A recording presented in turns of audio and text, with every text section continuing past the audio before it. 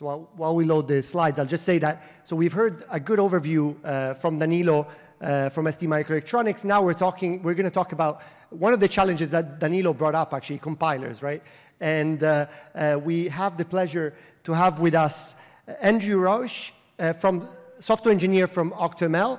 Andrew, welcome on stage. Everyone can hear me? Great. Uh, well, it's an honor to be here. Um, let's get started. So uh, AI at the edge has exploded over the last uh, couple of years. Uh, we now have a, a whole uh, class of devices uh, now that we previously thought was, was only available um, through science fiction. We have computers we can talk to now. We have computers that can see, computers that can translate, um, and even maybe some kind of less predicted applications that are kind of funny, but in a scary way, maybe. Um, and uh, though many of these applications uh, begin as thin clients to, uh, to solutions, we are increasingly living at the edge, and uh, a variety of challenges are driving folks to run inference uh, on device. Now, all of these tiny ML deployments uh, have something in common. And we call that, here at OctoML, we call that the deployment challenge, where if you line up all of the model definition frameworks at the left here, and then you place the places where you might want to run the model at the right, you'll notice that not every path here uh, is is, easy to traverse. This one right here um, may be quite easy. A fast implementation may uh, already exist for each layer. Uh, tools may already exist to translate the model graph into C, and you may have a robust uh, set of sort of test and debug tools to kind of validate the model um, that you're using on, on device. But not picking on anything in particular, another route may be very difficult. Um, you may have to find a hand optimize, uh, find or hand optimize an implementation for each layer. You may have to do some graph level work, such as tuning the memory uh, usage of your implementation. And depending how many custom things you do, you may have to build your own set of test and debug tools uh, to help you validate the model uh, on your own. So like everything in firmware, um, the code running on device can be very different from the equivalent cloud code. Uh, even this incredibly simple model can produce an inscrutable error to someone from the perspective of Keras. Um, it looks kind of like a different language. Where is the error here? It can be pretty hard to tell. and the problem gets worse um, because the, the, picture I showed you before is a much more oversimplified uh, picture of model deployment. If we consider something, maybe just a toy example that's a little bit closer to reality, the error could be anywhere in this process here. Um, and the problem gets worse when we move from, from doing things like debugging uh, stack traces on device uh, and, and, uh, and start considering more difficult challenges like uh, validating the accuracy of a model on device. Even more challenging, um, as I said, said here, this is just one example of a way you could deploy models onto a device. You might do something very different depending on the platform, the model, or your particular situation. You could train a quantized model, you could deploy something over the air, uh, et cetera, et cetera. So um, Model deployment is a really challenging problem, and to master a problem like this, you need to speak a lot of different languages. Uh, ideally, every engineer that was involved in the model deployment process would just speak all of these languages. But if you think about that previous slide I showed, um, there are a lot of different full-time job descriptions you could go through in thinking about all of the different uh, uh, skill sets that you need to assemble to solve a problem here. And so if we can't have a polyglot um, working on this model deployment problem, what's the next best thing? Um, the next best thing uh, could be a translator. Uh, unfortunately, last I checked, Google Translate does not accept ARM stack traces as an input format. And so in lieu of that, uh, I give you uh, Apache TVM. Uh, Apache TVM is an open source deep learning compiler. And uh, it's a tool or a framework that accepts models defined in these popular machine learning framework formats above uh, and translates it into an optimized implementation that works on a range of hardware, um, everything from data, data center class C uh, CPUs, GPUs, down to mobile phones, and also down to uh, TinyML or bare metal devices, which is something we'll talk about uh, a little bit further here today. Uh, TVM has been used by uh, quite a number of, of, people across the industry. Um, again, as I mentioned, it's an open source project. We have over 670 contributors from industry and academia alike. And uh, at our most recent TVM uh, user conference this past December, we had over 700 attendees. So now that I've kind of uh, introduced you to TVM, I wanted to talk a little bit about MicroTVM, uh, which is kind of the TinyML part of TVM.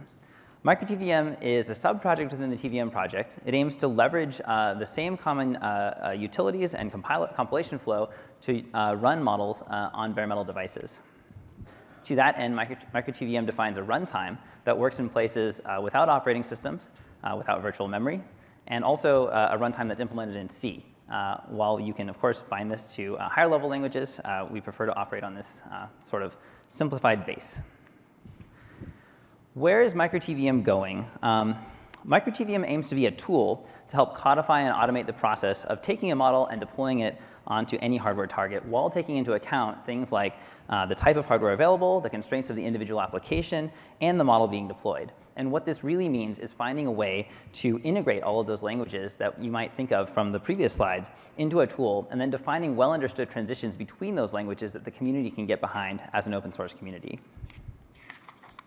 So what are some of these languages we're talking about, and how does TVM actually um, pull this off?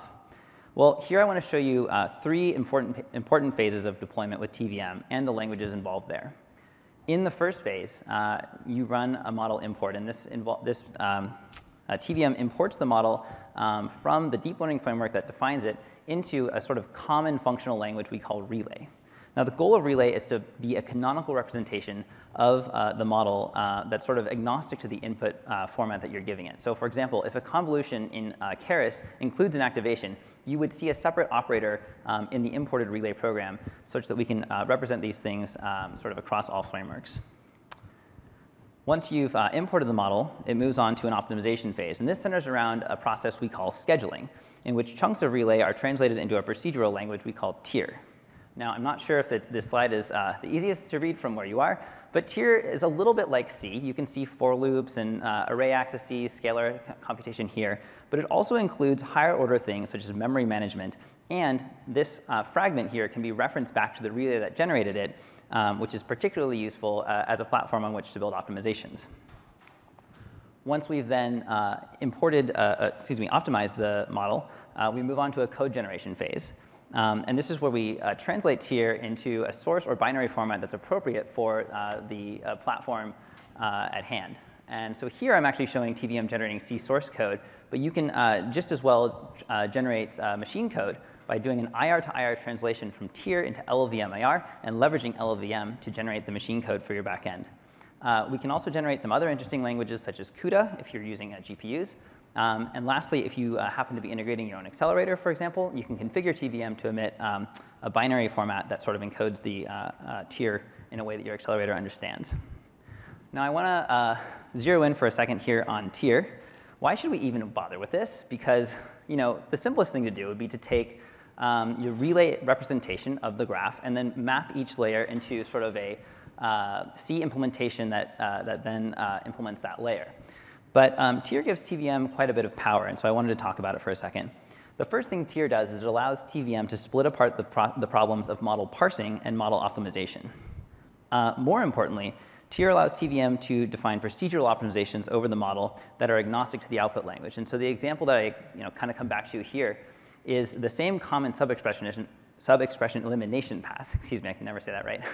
Uh, can be used on TIR regardless of whether it's running on a CPU, on a GPU, on an accelerator that you might be implementing, or whether the sub-expression is actually uh, composed in pieces, uh, one piece that might run on a GPU and one piece that might be running on a CPU, for example. More interestingly, TVM can leverage this TIR representation to perform common optimizations such as tiling, loop reordering, vectorization, tensorization um, automatically for your target. Uh, how it does this, TVM has a learning process where it sort of iterates over the various different combinations of tiling, uh, loop reordering, vectorization that makes sense for your particular target, for your particular workload. Um, and it determines basically the fastest uh, uh combination of those uh, uh, optimizations um, through a process we call auto-tuning or auto-TVM. In the graph at the top right corner here, you can see um, kind of the throughput results as we iterate through the design space. And at, at the top corner, uh, sorry, excuse me, at the, the maximum of this particular graph, we tend to approach the performance of hand-tuned or sort of off-the-shelf vendor libraries. Lastly, uh, TVM does translate the whole program into TIR, so we have a procedural view of the whole program during compilation. And this allows you to do some very interesting things kind of at the whole model level, such as whole model memory analysis, and we'll come back to that a little bit later. Now, we talked a little bit about op automatic optimization strategies, but sometimes there's already hand-tuned libraries available, accelerators. Um, TVM defines a, a, compilation process called BYOC, bring your own compiler. This allows you to define a parallel compilation path for a subsection, or excuse me, a subgraph of the relay model and compile that um, kind of in tandem with TVM's own uh, built-in compilation flow. So TVM supports, uh, and I should say micro-TVM supports, um, offloading to uh, pre-built libraries such as CMSIS-NN uh, for ARM processors, and it also supports offloading to accelerators uh, such as the EthosU IP that ARM's developed uh, this year. And all of that was contributed by ARM, I should say. Um, so now that I've kind of told you a few things about micro-TVM, where are we today? So today you can install TVM, uh, and you can compile a model from a deep learning framework into a format we call model library format. And the idea is that this contains everything you need to deploy the model. Um, so it contains some uh, metadata that might sketch out the memory requirements of the model. It contains the model source as TVM understands it. It contains uh, parameters that have gone through the TVM compilation flow and been simplified. And lastly, it contains the implemented model which consumes those parameters either in C or binary format. And this whole thing can be done from the command line using uh, a single command, uh, tvmc. You can then take that model library format piece and integrate it with your favorite firmware compilation tool, such as Arduino, as we're showing here, something we just recently added support for. Uh, add in some uh, libraries that ship with microTVM, uh, some runtime libraries, and then compile and flash and run inference on the device. And all of this process is also automated through the same tvmc micro command that I mentioned before. Um, TVM then leverages those uh, automations to actually uh, perform this automatic optimization pass uh, on the device. Um, so where does TVM fit in that workflow, that toy workflow that we talked about at the beginning here? You can use TVM to validate the model on x86, optimize it for your particular target, integrate that optimized uh, implementation into your firmware, program the device, and validate the model on device there. So I just wanted to wrap up quickly by talking about some uh, recently landed work in micro-TVM. Um, as I mentioned before, TVM has this auto TVM optimization uh, strategy, and that's actually just one of them as we kind of build out more. There will be more coming down the pipe. But we've now recently integrated support for auto TVM in micro TVM, uh, which you can do from a Python script. This will give you faster models. Um, we also now have whole program memory planning via an effort called Unified Static Memory Planner, uh, something pushed by the ARM folks. And um, this allows us to get a precise estimate of a, of a memory footprint for static models uh, and allows us to start exploring optimizations to lower it. Uh, lastly, uh, with our automatic project generation, uh, we can now create, um, sort of automatically generate Arduino projects that implement uh, any model that TVM can uh, can import, and we can run that on device uh, via our remote control uh, RPC protocol. Uh, to cover some upcoming work in micro-TVM that you guys should uh, uh, look out for, um, the first two things I want to talk about here are focused towards accelerator design. Um, some folks from a consortium of folks from both academia and industry in, in Europe are working on uh, well, while it's, all, when, while it's always been possible to integrate accelerators with TVM using this BYOC flow, there are a lot of common touch points that are a little bit disorganized. And so uh, folks noticed that it would be really helpful to have an API to kind of organize and explain to folks how to integrate your accelerator with TVM. So uh, be on the lookout for this um, universal modular accelerator infrastructure, which is sort of an API that explains how to do that. On the runtime side, uh, we are also working on uh, modeling accelerators sort of in a first-class way um, through this C device API work. Um, this models basically the accelerator uh, life cycle in TVM, everything from powering on the accelerator to copying tensor data into memory, running inference, and then finally you know, putting the accelerator into some sort of sleep state. On the UX side, um, a couple of things to highlight. Uh, we're, having, uh, we're looking forward to upcoming CLI support for AutoTVM using uh, this TVMC command uh, for micro-TVM. Uh, this will allow you to run tuning from the command line rather than um, via a Python script. And lastly, something that I'm particularly excited for, um, we are uh, going to be soon be pip installable uh, by uploading TVM to, uh, to PyPI, um, sort of the uh, standard way to install Python packages. As I mentioned before, micro-TVM is a community-driven effort, and we welcome new contributions. Uh, if you're implementing an accelerator, if you're implementing a model deployment pipeline, if you are looking at running models on uh, these TinyML devices, please take a look at us. Um, you can check out our roadmap for kind of a sense of the planned work if you'd like to get involved with that. Um, we also welcome new ideas on our Discuss forum, uh, on our Discord, uh, as well as we have a weekly TVM community meeting that I uh, invite you guys to check out and uh, come say hi, ask questions, um, uh, and uh, introduce yourself. Um, this last slide, I, I, just want to say, um, if you find this kind of work interesting and you're interested in um, kind of a new position, OctoML is a startup that uh, I work for and uh, a number of folks who, con who, contribute to TVM also work for. And uh, we are hiring both uh, in, in, the role of TinyML and also outside TinyML. So please check out our, our, career page or get in touch if you're interested. And with that, I just wanted to say, again, um, TVM truly is a community project. Um, much of the work that I summarized here was authored by folks that actually don't work for OctoML and work, are, are members of the TVM community. We would not be here um, today uh, without their help. So um, thank you. Just like to wrap up and ask for questions.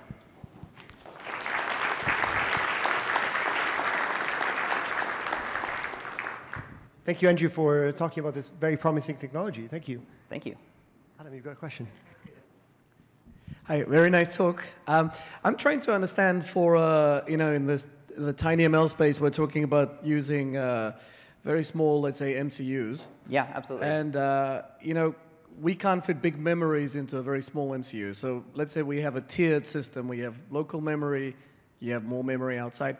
Yeah, does, absolutely. Does Micro TVM today have any way of managing uh, tiered memory including you know scheduling, moving things, understanding that some things are slower than others. Can you control a DMA as well, not just the you know the neural network accelerator? Absolutely, great question. Yeah, so that's something we're working in the direction of. Uh, with this unified static memory planner, uh, you can actually express to MicroTVM. You can say, well, I have two different pools of memory, and these are contiguous blocks of memory. Um, and you can explain, you know, okay, well, if you have an accelerator, perhaps an accelerator can only access one of them, or if you just want to treat them differently, you can do it that way.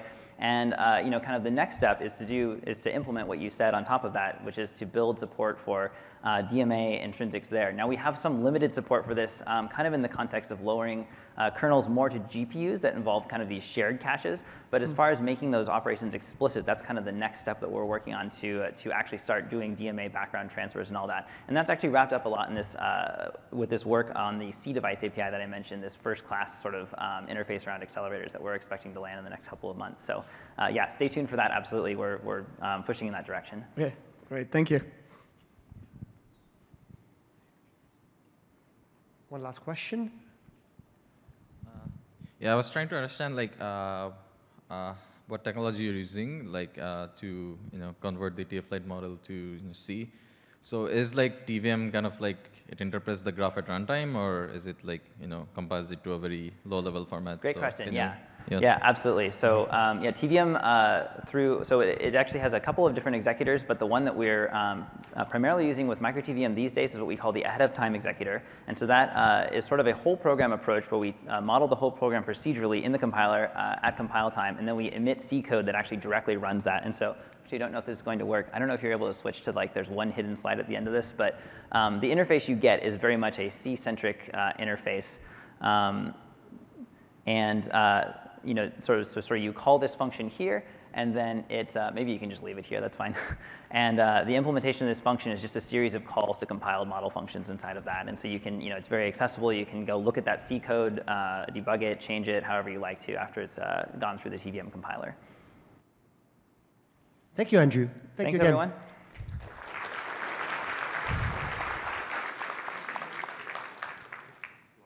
And we are very thankful for, for our sponsors. Uh, the executive, the premier sponsor this year is, is Edge Impulse. Uh, uh, and then uh, uh, executive sponsors are ARM, Deeplite, uh, Qualcomm, and Syntiant. Platinum sponsor Analog Devices, BrainChip, Infineon, Clickertech, Latent AI, NXP, Reality AI, Renesas, Sony Semiconductor, and Synaptics. Really very diverse company, gr great companies uh, who are really driving uh, TinyML forward. Uh, and um, gold sponsors for the Hub, MicroAI, Prophecy, Seeed Studio, SensiML, ST Microelectronics, uh, SynSense, XMOS. And we have a list of uh, civil sponsors, Avion Devices, Aspinity, CEVA, EMSA, uh, GreenWave Technologies, Grovity, Himax, HOTG, Imagimob, um, Itemis, uh, Lattice, Nota, uh, OmniML, PixArt, Plumerai, Qeexo, uh, Rachner, Rixen, SAP, StreamAnalyze, Texil, and Google.